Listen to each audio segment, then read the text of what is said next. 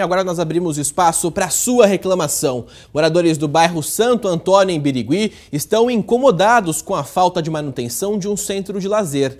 O abandono já se arrasta há 10 anos e agora eles vivem um jogo de empurra. A população espera uma atitude da prefeitura, que por sua vez diz que os moradores é que se comprometeram a cuidar do local. Vamos acompanhar a matéria. Põe no ar. O balanço enferrujado mostra que as crianças não podem mais brincar no parquinho. A quadra poliesportiva também está com a estrutura comprometida. A situação de abandono tomou conta do centro de lazer do bairro Santo Antônio, em Birigui, próximo a Araçatuba. O local está inutilizável há mais de 10 anos. Crianças menores querem brincar no parquinho. Hum, você vê, não tem parquinho para as crianças. A família, às vezes, final de semana, querem, você entendeu?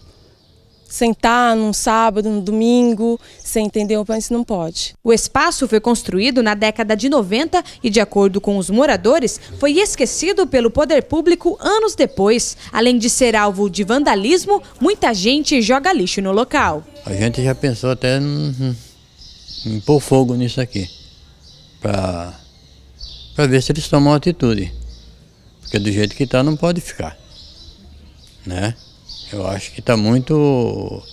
Isso é um, até um desacato para os moradores do bairro, para quem quer bem no bairro, quer quem para quem gosta de morar aqui. A prefeitura informou que em março deste ano um trabalho de recuperação aqui no centro foi iniciado e que os moradores do bairro Santo Antônio se comprometeram a dar continuidade nesse trabalho. Só que, como vocês podem ver, parece que até o momento nada foi feito. Não existe sinal de reforma, muito menos de recuperação aqui no local. Como que a comunidade vai arrumar um uma coisa que é, que é, que é direito do, do, do poder público fazer isso. Vamos aguardar, né?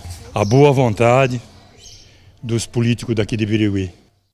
É, o povo tem que contar com a boa vontade política que não está existindo muito lá em Birigui, né? Você vê a desculpinha que a prefeitura deu para Michele Bacelar, que, é, que os responsáveis por isso seriam os moradores e não a prefeitura, mas o local é público, quem tem que cuidar é a prefeitura. Nós fomos atrás de respostas do Poder Público de Birigui. A Secretaria de Esportes informou que vai averiguar a situação do centro e checar o que precisa ser feito no local. Mas espera lá, 10 anos não conseguiram checar até agora? A população reclama, não é de hoje, e eles dizem que ainda vão até o local verificar o que está acontecendo. Eu não consigo entender, não entra na minha cabeça. O que, que acontece com a, com a, prefeitura que não consegue dar um posicionamento e não consegue dar uma resposta assertiva? O povo continua esperando e a gente continua cobrando, porque esse é o meu compromisso com você, é o compromisso do SBT Interior.